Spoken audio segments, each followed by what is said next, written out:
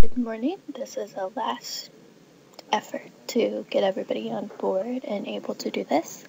Um, as you can see, I'm on the website in order to download articles, and I have two search parameters immigration and immigration policy. I go down the page, want it to be publication date sorted by oldest first and 100 items per page. So I click search and here are the results. So as you can see, there are about 7,000 results. So we want to download these quick and easy. So we click on the first result and it will open in a new window. So now we can look, go to edit macro, look at it.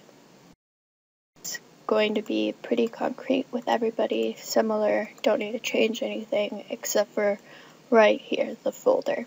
This is specific to my computer. You just need to go to find the download you want it to go to and just change this for your computer. Okay, so that's good. Save, close, and now we can download.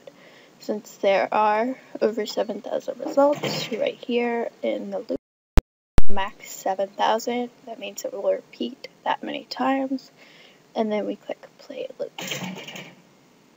So as it plays, it randomly goes th it goes through each article in order, downloads it, goes to the next one, downloads this one, goes to the next one, downloads this one, goes to the next one. As you can see, all I have to do now is click stop,